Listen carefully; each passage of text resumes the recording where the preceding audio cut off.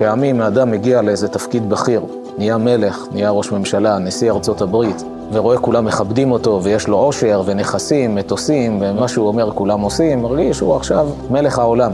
זה יכול להביא אותו לתחושה של אלוהות.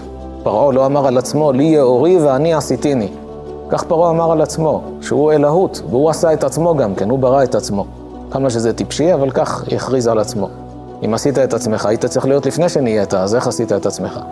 היה מלך בשם חירם, שהרגיש את עצמו שהוא אלוהות, עשה לעצמו כמו רקיעים וטיפס למעלה.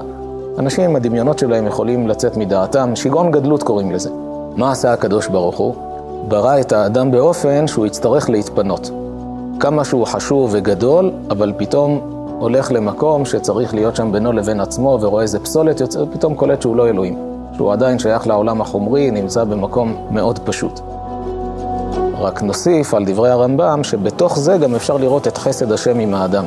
מי שמחפש לראות את יד השם, לראות את ההשגחה העליונה, תמיד מדברים על פלאי גוף האדם, איך הגוף מתפקד, על העיניים, ראייה, חיסון וכולי, אבל כשמתבוננים רואים שהקדוש ברוך הוא לא רק ברא את האדם וסיפק לו את כל צרכיו, אלא גם מתחשב ברגשות של האדם, שלא להמאיס את עצמו בעיני עצמו.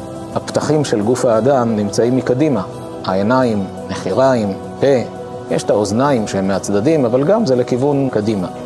הפתח היחיד שהוא נמצא כלפי חוץ, כלפי אחור, זה רק פתח הוצאת הפסולת.